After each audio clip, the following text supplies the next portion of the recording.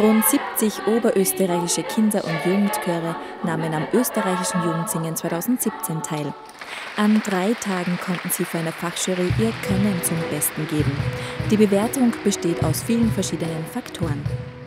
Ja, da gibt es einmal die musikalischen Kriterien wie Rhythmus, Intonation, äh, Textauswahl, Textverständlichkeit und natürlich auch künstlerische Faktoren, wie sich der Chor auf der Bühne präsentiert, äh, wie Text gestaltet wird, das Verhältnis von Wort zu Musik gestaltet wird und äh, vieles, vieles mehr.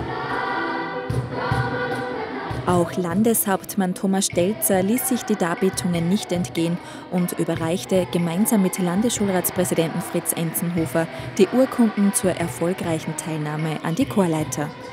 Für ihn ist Musik ein wichtiger Bestandteil in der Bildung. Musik ist ein wesentlicher Bestandteil unserer gesamthaften Bildung. Es ist nachgewiesen worden, Musik macht schlau. Aber natürlich gerade auch Chorsingen trägt zum Zusammenwirken bei, stiftet auch Gemeinschaft. Und darum ist gerade auch so ein Tag wie der heutige, wo wir Chöre besonders vor den Vorhang holen, auch ein Zeichen, dass wir Kultur und Gemeinschaft wollen.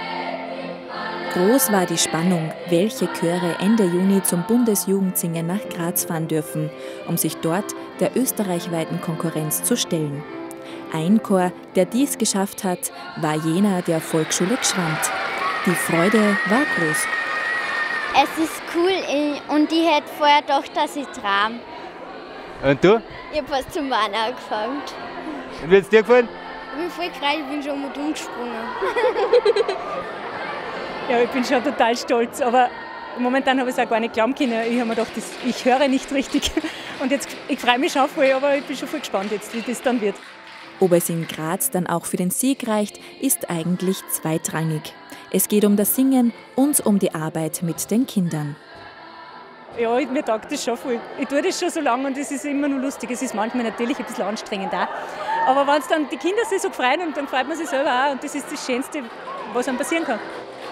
Als Unterstützung gibt es noch motivierende Worte für alle Chöre von Landeshauptmann Stelzer mit auf dem Weg nach Graz. Wir drücken natürlich ganz fest die Daumen, aber die sollen einfach so singen, wie sie das immer machen, dann wird es bestens laufen und wir werden erfolgreich sein mit unseren Teilnehmern.